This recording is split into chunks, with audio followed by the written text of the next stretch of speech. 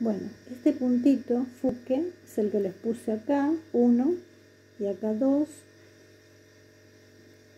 No sabía cómo grabar esto, ahora ya está.